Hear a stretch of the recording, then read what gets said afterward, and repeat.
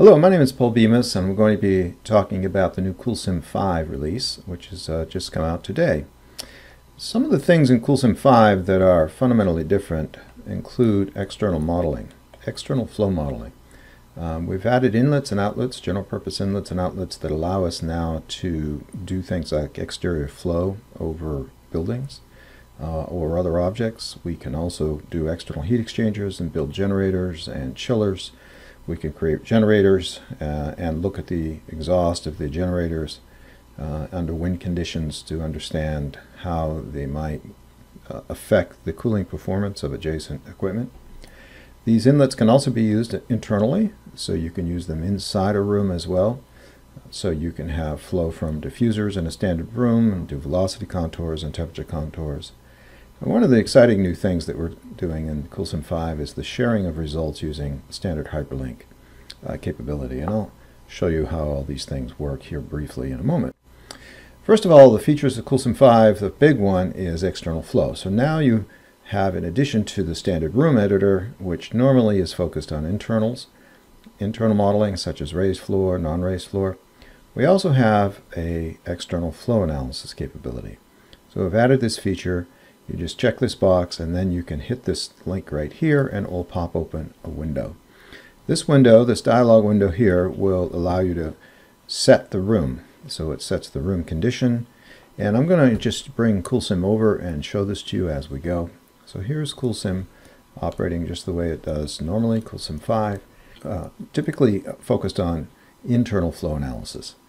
But if you just touch one of the walls and double click it, or you uh, right mouse click the wall, you can do external flow. And as soon as you do that and start to set up the external flow specifications, here now it's no longer a data center, it is a domain. Uh, we used to call this a bounding box. Sometimes people still do. You can see the direction of the arrows there represent the wind direction. If I go to my external flow setting here, I can do things like set up the wind direction um, with offset. So you can rotate the the offset here. So uh, typically the top view of CoolSim is laid out with X in the right hand direction and Z straight down and Y straight up out of the page. And that's how your model is laid out. But you can offset that wind direction uh, here to adjust for the fact the building may not be oriented quite correctly on the compass. And once you set the wind direction, you can then set the wind speed uh, and direction. So so once you have done the offset, you can set the wind direction here using this slider bar and you set it in degrees or just slide it around. And down here we can set the velocity of the air in feet per minute, meters per second, feet per second, miles per hour, or kilometers per hour. We can also set the air temperature for whatever we want. We also have a hyperlink here that takes you to the NOAA site for uh, information about wind in case you and temperature in case you do not know it. This is a fairly comprehensive site and deals with uh, the entire uh, globe as long as there's data. So this is a fairly good site for you to get data. Most of you will know what the prevailing wind is in your area or conditions you need to be worried about in the case of a storm. And that's what we're talking about here is a failure mode analysis, so it's typically a storm. The uh, other thing we've done here is added the ability to do external heat exchangers. Now we took our PDU object that we typically use for heat dissipation inside the data center. And we've added to it the ability to set delta T. Uh, these before were only load and we assumed a flow rate. Here I can set the delta T as well. And so I can use it for both inside the room and I can use it outside the room. So an example of that would be uh, a chiller. So here I have a model that I'm going to be showing you in a moment and I've hidden one of the sides of this so you can see how we modeled it. So the way chillers generally work is air comes in the side and through a heat exchanger I'm up out of the top.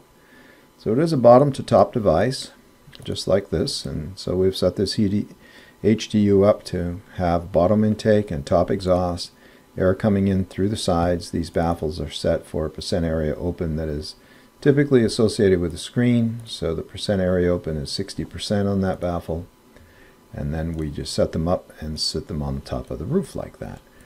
So here I have a data center with a bunch of generators in front of it. We'll talk about those in a moment.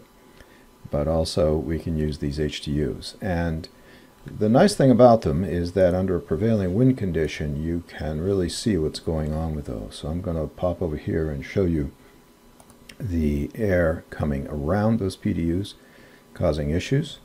And this is a shot of that. I've got a prevailing wind coming from uh, the left side of this building. You can see those path lines are, are having some trouble in certain places. The air coming out of them is wrapping around and going back into the intake of those devices. And you can see right here the air wrapping back around and getting sucked into the intake. This is exactly what happens here as well. You can see the space between these devices is fairly small and so there's going to be a high velocity uh, air created, high velocity stream created there causing the low pressure and pulling that air down inside it. Uh, so the visualization on this is, is quite nice. Uh, there's another plot we've added to post on this that is really quite good. It's called Inlet Temp Averages. And these are the contours of temperature on the inlets. So the cooling capacity or heat dissipation capacity of these devices is correlated to the intake temperature. So here I can get a plot of that. Here's a plot of intake temperatures uh, as a function of color. So the minimum is 86, the maximum is 112. That's just the range that it's seeing. See, in the center of the room, it's not so much of a problem, but these generators are exhausting in this case, and they're generating heat, and that heat is getting uh, pulled into the intakes of these heat exchangers. So these units in red are not going to perform nearly as well as these units in blue. I mentioned generators already. This is a generator model. You can see uh, the stack here, this is the exhaust coming out, combustion, very high temperature, 900 degrees, uh, coming out of the top of this. These are heat exchangers in the front uh, or front and back. So the air is coming in through this, passing by the, uh, the big diesel generator and then back out the top. These general inlets and outlets can be used in CoolSim uh, pretty generically, so you just pull them in. We have both baffles and inlets. So here is a general purpose inlet. You can see that I can make them any size I want. I can set the flow rates on them. I can uh, make them an outlet uh, to the room or from the room, an inlet to the room. I can set the flow rate, set the temperature. I can also specify the angle of the flow, which is quite nice. If I switch this to angle, you can see that that arrow moving around in real time. I can set the angle of flow with a very simple slider bar kind of mechanism no unit vectors. This is just an easy way to do it. And uh, you can set it up that way. You can also set it to be normal to the surface. So it's uh, straight perpendicular out. And you can also reverse the flow. So it ends up uh, going out in the other direction. So that's inlets and outlets. And what we use it for is to, is to create generators. So let me pop back over to my uh, external flow generators. So here's the external flow model I'm using. And in this particular model, You've got uh, some exhausts up here. So these uh, generators are stacked and the exhausts are all running together and coming out the top. Uh, the outlet of the radiator or the heat exchanger for cooling the engine is one in the front and one in the back. Um, so there's the one on the back side and here's the one on the front side. Airflow in this direction you can see from the arrow is very strong uh, left to right. Uh, if we wanted to know the magnitude of that we could go to our external flow setting and find out that it is operating at uh, 60 miles an hour. We're in a 60 mile an hour wind, uh, 85 degree Fahrenheit. So that's our worst case condition wind and we can run that model. Models here run pretty, pretty fast, they're pretty quick. Uh, let's take a look at some output from one of these models. One of the most interesting things to look at is external inlets by temperature. And as you can see um, from this shot, the wind is blowing again uh, directly from the, the, left side. We can use a shortcut to, to view that. I just used a Z key and an N key, so I took off perspective. You can see the air coming and pushing that flow towards those heat exchangers. Now a lot of it is going up. We're, we're seeing buoyancy here have an effect, so the hot exhaust is exiting towards the top, but it's also coming over and, and, and getting into those heat exchangers as well and causing some issues.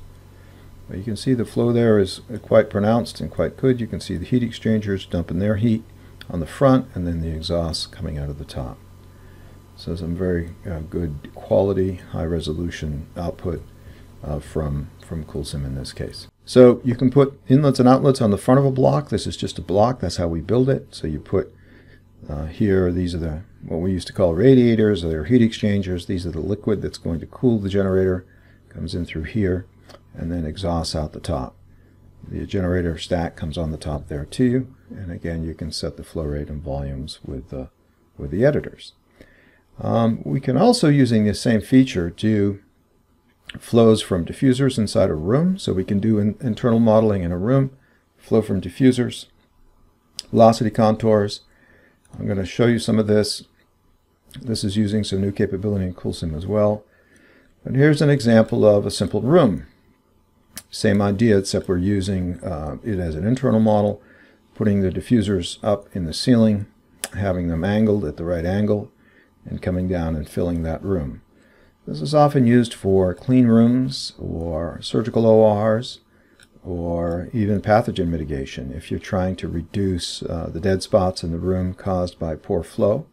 This is uh, now you're able to do it inside of. Uh, same thing, velocity contours. You can look at the contours of velocity the same way. In uh, clean rooms, you want uh, no dead spots, what we call dead spots, areas of zero velocity. So you try to you try to minimize those. Same thing with temperature. You can do temperature contours as well. So here I've made these little people uh, out of blocks and put some heat load on them to mimic the behavior of buoyancy and you can see the temperature plumes coming off coming off the people right there. So you can use it for clean rooms, surgical ORs. I have a model here of a surgical OR I can show you. This is an OR uh, that we worked on recently. You can see the air coming straight down from on top and uh, the flow uh, coming down and washing the patient who's laying on the table there, and uh, people standing around who uh, may, in some cases, block some of the flow. But this is the kind of analysis you can now do in CoolSim very fast and, and uh, very effectively.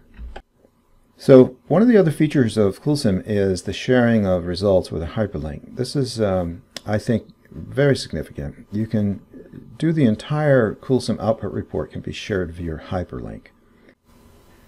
So when, when CoolSim finishes, you get uh, four emails. You get one that just says it started. So here's my job that started. Yep. And then here we have successful completion. Comes with a summary report. The summary report is an, a complete output uh, of the entire run in a PDF format. So you can see here that external flow, what the size of the mesh was, how many cores were used, you can see there we used 5.4 million cells on that.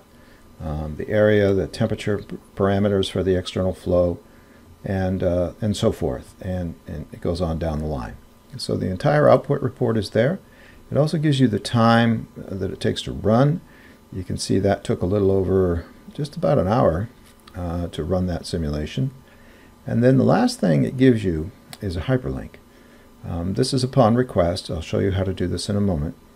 But if you flip a switch during the run cycle or doing a rerun of post, you'll get the entire output report. So here I'm able to just uh, select this and it gives me the entire report as a unique URL.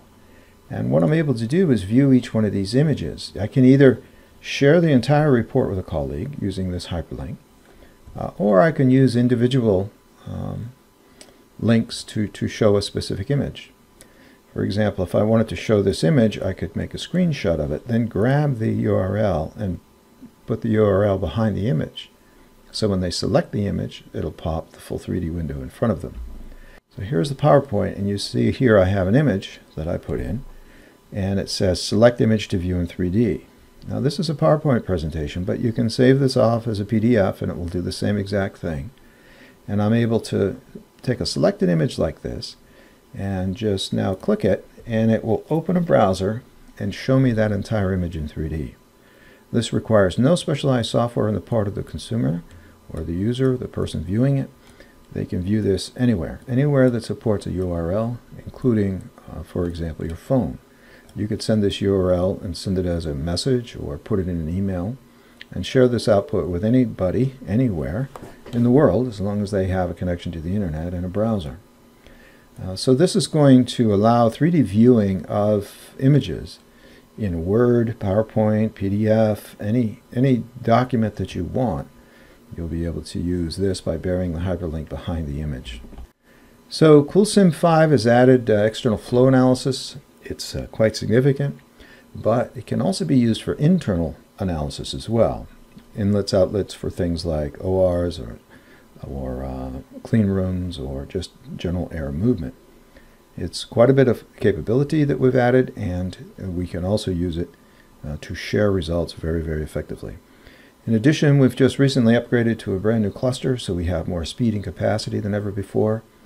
And as a result, CoolSim just continues to be the best uh, tool in the market, best price performance solution that you can find, backed by the powerful Fluent engine for mesh solve and post, best uh, solver and, and mesh technology in the world, provides the accuracy you need, the fidelity you need, and at a price point you uh, can certainly afford. Thank you.